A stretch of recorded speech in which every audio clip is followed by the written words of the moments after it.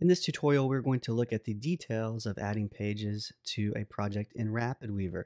And so in the Getting Started tutorial, we briefly looked at this. We added a single page to our project, and we have called that the home page, and it's listed here under the pages in the list.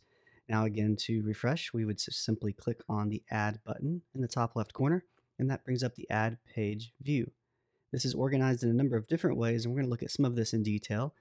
You will notice that we have the style text page presented first. This is a recently used page, and so it's available right here below the search function, which we'll look at in a moment. We're going to skip over the add folder and add resource options for now because those are going to be covered in a later tutorial. And then we'll go down to the first option underneath, which is all plugins. Now you'll notice that the word plugins is used. That is the term for page types in RapidWeaver. So any type of page that you add is technically called a plugin, it's called that because not only do you have these built-in page types or plugins available, but third-party developers also develop plugins that add new options to this list. And so as you add more to your RapidWeaver software, you can have those available here. And we'll discuss third-party plugins in great detail later on. But RapidWeaver does come with these built-in page types or plugins. We have a blog, contact form, file sharing page, an HTML code page, an iframe page, markdown page, an offsite page, a photo album page, a sitemap page, and a styled text page. And the styled text page is the one that we've added to our project at the moment, which basically presents the layout like a word processor where we can add text and images to the page very easily. Now coming back here, you will notice that in addition to the all plugins view and list, we have a favorites option we can favorite plugins in the add-ons manager and we will look at that later and when that is done then there will be items available here. And so this is helpful because it lets you quickly access the plugins that you use most frequently. You don't have to navigate through this list especially when you have third-party plugins installed which would create an even longer list of options here. You can also divide and sort the add-ons or plugins into collections and so that would be found here. We'll look at that when we look at the add-ons manager later and then finally, the plugins can be sorted by developer. So at the moment, RealMac Software, the developer of RapidWeaver, is the only developer listed because this is a just a basic installation of RapidWeaver with no third-party plugins installed, so we don't see any other developers listed. Now, if we had purchased third-party plugins and installed those, then we could sort those plugins by developer and there would be more developers available here. So it's another way to allow you to filter the plugins that you have available. And then finally, we have a quick link to the Manage Add-ons area of RapidWeaver. Again, we will look at that in a later tutorial to get more into detail about how to add plugins and add-ons and how to manage those to create favorites and collections.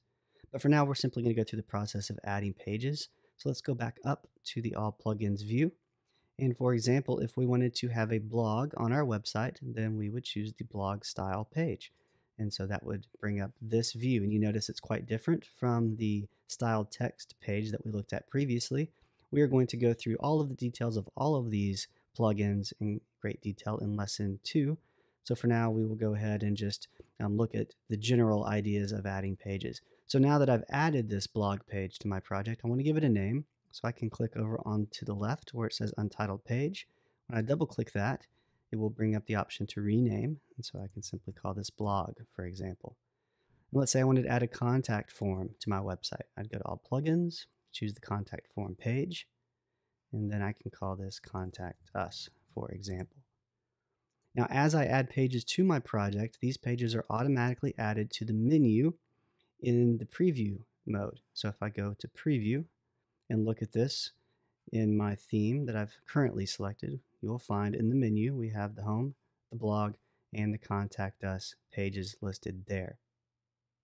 Now I want to go through a few other details and some other tutorials before we get into the um, all of the options available for creating menus in a website.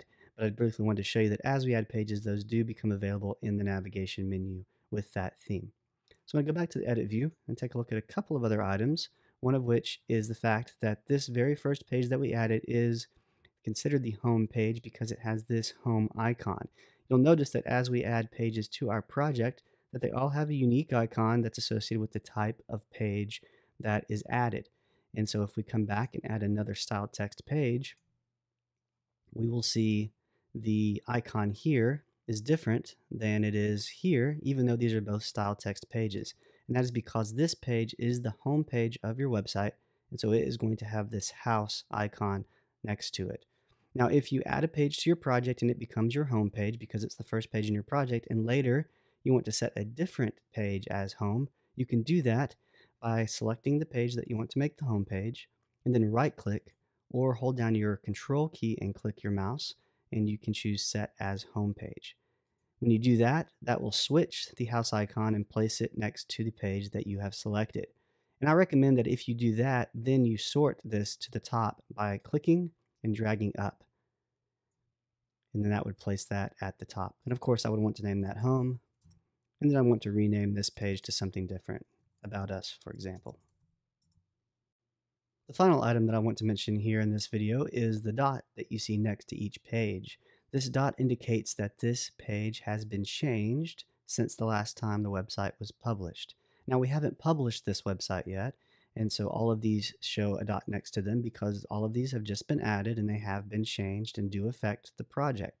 And so that is what the dot indicates. Now we are going to look at a bit more detail about that dot and what you can do about that when we get to the publishing section of these tutorials.